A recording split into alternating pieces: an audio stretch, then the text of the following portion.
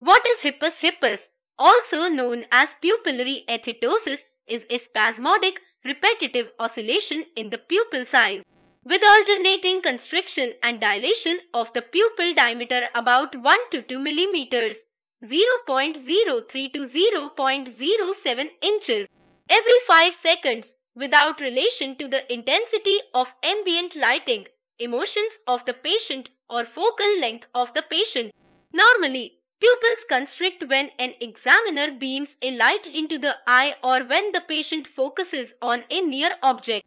Pupils dilate when a subject feels excited or emotionally aroused. Physicians consider hippus a normal variation in pupil reaction and in most cases, hippus does not imply an underlying disease or defect.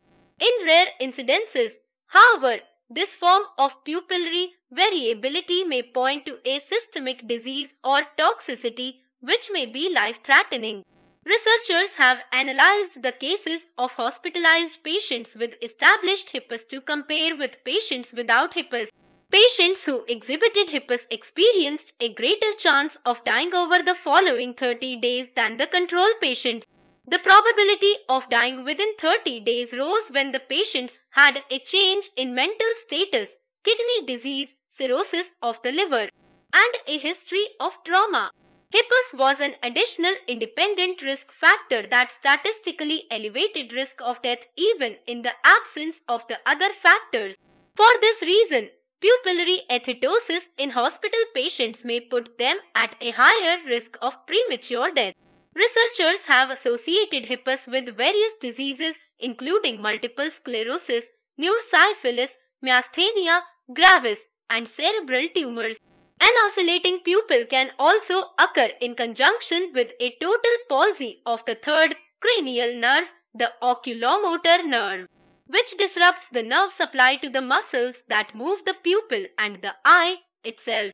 Patients with imbalances of the autonomic nervous system also develop pupillary athetosis. In addition to controlling pupil size, the autonomic nervous system controls heart rate, salivation, urination, breathing, and organ function. Hippus occurs when a patient has used one of the barbiturate drugs, pentobarbital, phenobarbital.